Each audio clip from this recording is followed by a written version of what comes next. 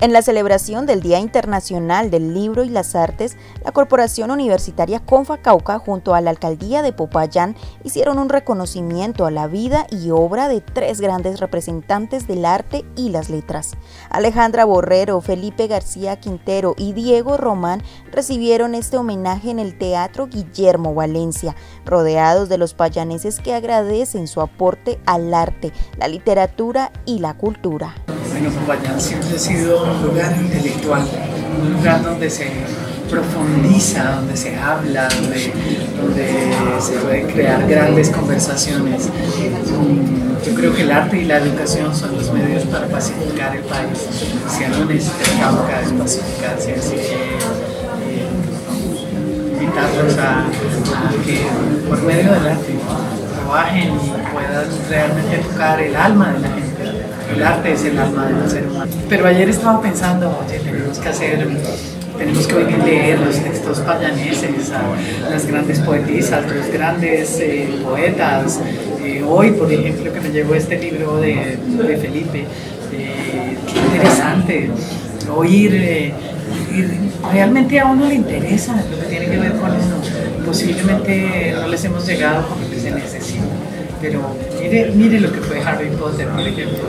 Eh, eso le interesó a los niños, les pareció chévere y lo leyeron, así que hay muchos textos bellos que vale la pena leer. Llegar de, de Lyon y tenemos una obra donde me llevó una paramilitar, una ex paramilitar una víctima y tenemos toda una historia de una guerrillera y yo cuento mi historia, así que es muy interesante ver esta historia tan tradicional, tan diferente, cuando ellas empiezan a hablar de muerte, de asesinatos, de lo que ha sucedido en este país. Eh, no, es una obra que llevo haciendo ya, eh, hemos estado ya cuatro veces en, Francia haciendo gira posiblemente este próximo año estaremos en España y en Londres también. Quiero traer muchas cosas de las que tengo y espero tenerlos a todos ustedes.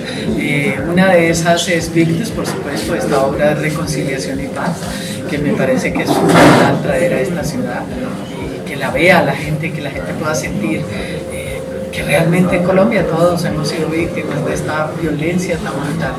Eh, y otra bellísima que tengo que se llama Una noche para siempre, la historia de Manuela Sáenz y Antasio Esclavo, una historia libertaria desde las mujeres, porque además pues si alguien no, nunca fue reconocido fueron las mujeres y las mujeres esclavas mucho Yo vengo trabajando desde Confacauca, mi padre también trabajó en Confacauca hace muchos años, fue el gestor de muchas cosas, muchos proyectos de la universidad, del colegio, de Piso G, y pues siempre ha sido mi hogar. Eh, aquí también estudié, eh, tuve la oportunidad de hacer la maestría y también trabajar como docente, entonces fue un reconocimiento, algo muy fraternal creo, es como estar en mi hogar y, que me celebren, ¿no? Muy hermoso y estoy muy agradecido con, con toda la ciudadanía, con todos los profesores, con los estudiantes.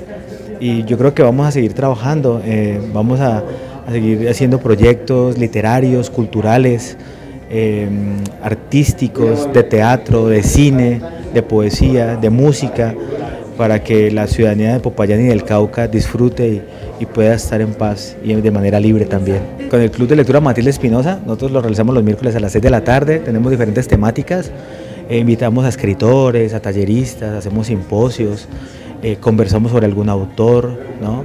Eh, en el Club de Lectura hemos tenido la posibilidad de hablar con William Ospina, eh, Mario Mendoza, estuvo Claudia Palacios, eh, estuvo Hamon Pick, que fue ganador de dos premios Óscares. Eh, entonces, bueno, hemos tenido diferentes autores, poetas. yo creo que los chicos poco a poco, compartiendo con esos escritores también, van a, van a ir mejorando cada vez más su comprensión lectora o el amor a los libros, por lo menos, que es una pasión, ¿no? Vivan la vida con amor, con tranquilidad, día a día.